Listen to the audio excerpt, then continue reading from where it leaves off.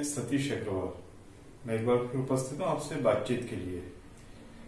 हम अपनी स्वास्थ्य विषयक धारावाहिक, हेल्थ यानी वेल्थ, इसमें वर्तमान में जारी कोरोना महामारी और लॉकडाउन के विषय में विशेषज्ञों का मत लेते हैं। आज हम इस कार्यक्रम के सैंतीसवीं पायलन थर्टी सेवन एपिसोड में अमरावती शहर के युवा ऑप्थोलॉजिस्ट डॉक्टर मंजीत तोटे से मार्गदर्शन हासिल करेंगे। सर, स्टूडियो में आपका हार्दिक स्वागत है। सर, आपसे जो प्रश्न है कि इस समय में जब लोगों के पास में काफ़ी समय है तो अपना बहुत समय वे स्क्रीन के सामने बिताते हैं, चाहे वो कंप्यूटर स्क्रीन हो या मोबाइल हो। इस विषय में आपका मत क्या है? नमस्कार। मैं डॉक्टर मनीष तोटे, अमरावती में ऑप्थालमोलॉजिस्ट, यानी कि आई स्पेशलिस्ट के तौर पर काम करता हूँ। जैसे हम सब जानते हैं आजकल हम सब अपने अपने घरों में कैद हैं। कोरोना वायरस की वजह से हमको घर में रहना पड़ रहा है।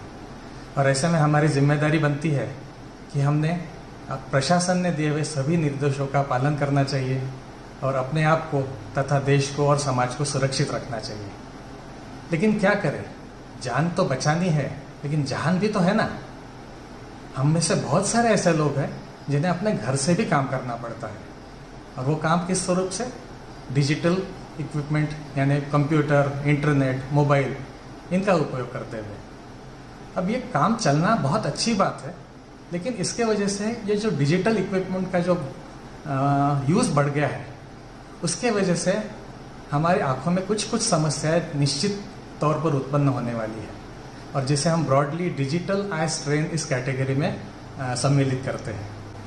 अब इसमें क्या होता है? आँखों में जलन होने लगती है आँखों में लाली आती है और इरिटेशन यानी खुजली बहुत होती है और इसकी वजह एक ही होती है। कंटिन्यूसली जब हम ये डिजिटल इक्विपमेंट के रेडिएशन को एक्सपोज होते हैं तो हमारे आँखों का जो लुब्रिकेशन है आँखों का पानी है आँखों का ऑयल है ये सब सूख जाता है।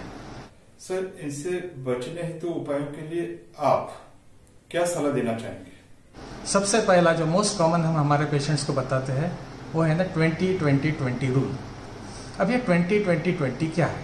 तो इसमें से फ़र्स्ट ट्वेंटी यानी जब हम किसी कंप्यूटर पे मोबाइल पे या लैपटॉप पे काम कर रहे हैं तो हर 20 मिनट बाद एक ब्रेक लेना चाहिए। ये हुआ हमारा फ़र्स्ट ट्वेंटी अब दूसरा ट्वेंटी वो ब्रेक कितने समय का होना चाहिए? तो कम से कम 20 सेकंड का ब्रेक होना चाहिए। और ये तीसरा ट्वेंटी क्या है? तो उस ब्रेक के दरमियान क्या करना है? तो अब तक हम क्या कर रहे हैं? हम नज़दीक पे फोकस करके आँखों को कंप्यूटर पे गढ़ाए रख रहे थे। ये ना करते हुए 20 मीटर या उससे दूर कहीं हमको आँखों को फोकस करना है। अगर रूम छोटी है 20 मीटर का अंतर नहीं है, खिड़की नहीं है तो क्या करें? सिंपली अपनी आँखें 20 सेकंड के लिए बंद कर लीजिए। तो ये हो गया 20 20 20 रूल इससे आपके आँखों को कंटिन्यूस एक्सपोजर न होते हुए बीच बीच में अगर रेस्ट मिलती रहेगी तो काफ़ी हद तक हमारा ये डिजिटल आई का प्रॉब्लम कम हो जाएगा।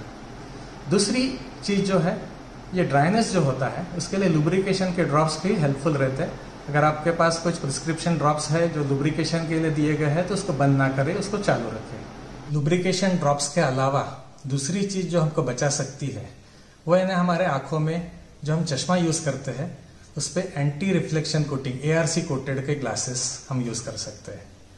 इसके साथ साथ हमारे जो इक्विपमेंट है डिजिटल इक्विपमेंट जैसा मोबाइल का स्क्रीन है लैपटॉप का स्क्रीन है उस पर भी हम एंटी रेडिएशन गार्ड्स जिसको हम स्क्रीन गार्ड कहते हैं वो भी लगाए जा सकते हैं।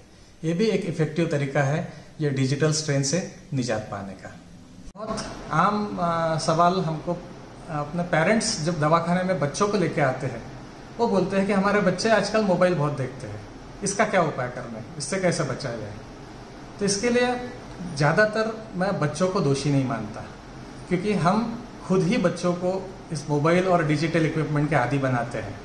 जब बच्चों को हम समय देना नहीं पसंद करते या समय देना पॉसिबल नहीं होता है, तब हम खुद ही उनके हाथ में मोबाइल थमा देते हैं और उनको बिज़ी कर देते हैं।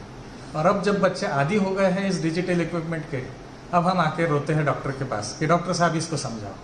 तो इसके लिए मैं आपको वही सलाह दूँगा कि बच्चों को सही समय दीजिए, बच्चों को बाकी चीज़ों में बिज़ी रखें ताकि ये डिजिटल इक्विपमेंट की ज़रूरत ही ना पड़े। और बच्चा तो खुद होके मोबाइल तो जाके खरीद के ला नहीं रहा। उसको दे रहा कौन? हम ही ना।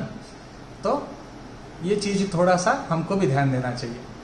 तो आखिर में समअप करते हुए यही बोलूँगा कि डिजिटल इक्विपमेंट ज़रूरी है, उससे भागा नहीं जा सकता। लेकिन उसका जुडिशियस यूज़ यानी सावधानी पूर्वक यूज़ करना हमारा कर्तव्य है। और इस 20-20-20 रूल साथ में लुब्रिकेशन के ड्रॉप्स इनके बारे में थोड़ा सा ध्यान रखा जाए।